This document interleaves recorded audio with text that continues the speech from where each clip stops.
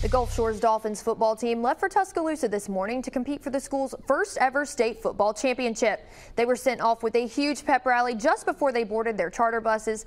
Our Hal Scheurich was there to capture all the excitement. Can I get a one? what?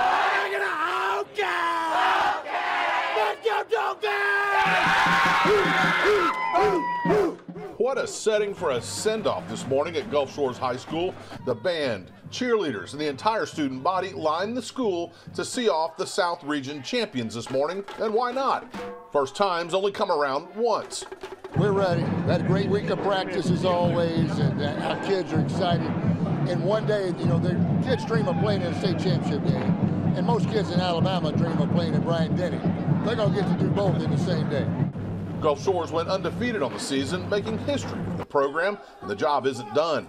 They'll take on Ramsay in the 5A state title game tomorrow night at Bryant-Denny Stadium in Tuscaloosa. This isn't about our football team. This is about our community, our high school,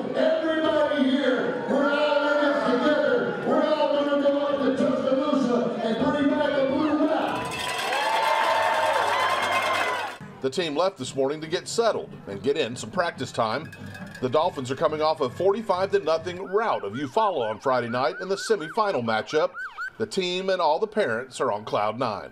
He's so excited. This has been amazing. And so it's a little Super cold fun. this morning, but I Very guess you wouldn't miss this for the world. Not nothing will keep us from being here. very excited. We're really proud of our team and our, our city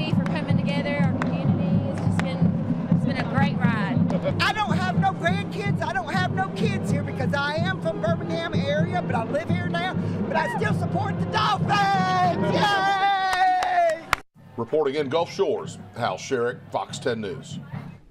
And Gulf Shores is just one of four Region 1 teams headed to T-Town for a state title game. Leroy and Mobile Christian also play on Thursday.